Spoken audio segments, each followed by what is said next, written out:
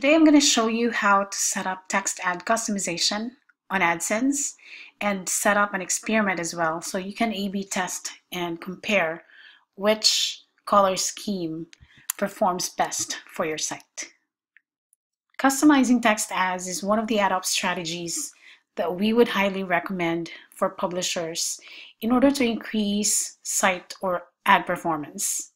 So you can either blend with the look and feel of your site to make it native or you can try contrasting colors so that your ad stand would stand out and users tend to pay attention to it and hopefully click on it. To get started, you go to Ad Unit section under My Ads and create an ad unit. In this example, we're choosing text and display ads. So we give it a name choose the ad size that you would like to run for your ad unit.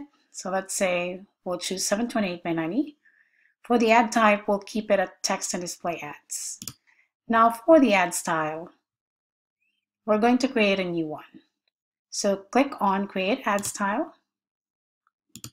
And for this example, we're going to give it a name. Let's just call it training for now. You can replace this with your domain or your um, website name. Let's say this is the website we're trying to set up. So you try to check what are the colors being used by the site right now, and we'll try to use the same color scheme. So in this strategy, we're going to blend it with the look and feel of the site. Now I'm using a digital color meter right now to check the RGB values of this blue color right here. All right, so it's 32, 88, 148, if you notice that. So using a color converter from RGB to hex, we're going to say 32, 88, 148, right? So 32, 88, 148. You can just Google any tool online.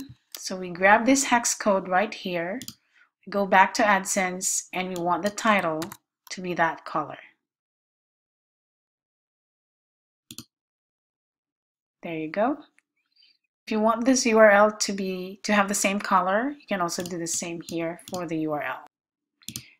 So now for the text, we have to check the normal text colors uh, used by the site, especially on the content page.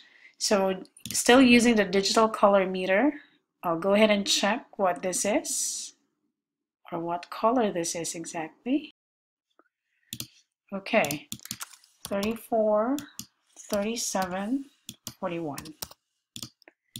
Grab that, go back to your AdSense and change it. And this is the color for that right there. For the border, you can also check the background color of the site. So basically right now I see it's white. So we keep that as is. And then for the font family, we'll keep it optimal. Then you can just go ahead and save. All right, so every time there's a text ad that will serve for this ad unit, it's going to be, or it's going to follow this ad style right here.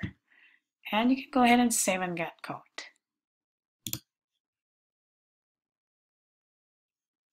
grab the code and implement it on your DFP or directly on your site. Now, what if you want to run an experiment? So you can go ahead and check on optimization and experiments. Then you can go ahead, click on ad unit settings. Here you can give it a name. So let's say test training for now. And then choose the ad unit you would like to test. So let's say we're going to test or optimize or run an experiment on that ad unit we just created. Then what type of experiment are you going to run? In this example, we're going to do the text ad style. So this is currently the original ad style right here. And we can customize a variation. Again, change the colors here. or select a pre-existing ad style. In that case, you are now able to tell, as soon as you get traffic, you can see which one is performing better and eventually choose a winner. All right, and then you can say automatically choose winner. AdSense can choose the winner automatically and apply the settings. If you turn this off, then you will have to manually check the results or the data for these two ad styles and decide for or which one should be the winner. And you can go ahead and say create. Now, once you have that, this experiment will run for 90 days. Now, this is where you can see the data for your original settings versus the variation. And then you also have the option to stop your experiment. Or you can click here to choose one of them as a winner and AdSense will automatically apply that settings for you. Now the only difference with, between AdSense and AdExchange is that when it comes to AdSense, you really have to choose the ad style per ad unit when you create it. So since earlier you have already created the ad style, you don't have to repeat that every time you need to create a new ad unit. It will be part of the list right here. Okay, but if you're trying to do another custom style, then you can create an ad style again, like what we just did earlier. Thanks for joining us today. We hope you enjoyed our presentation. Also, learn to monetize more by watching our tutorial series and reading our latest ad optimization tips. Please subscribe to our blog to receive periodic updates. Thanks, we'll catch you next time.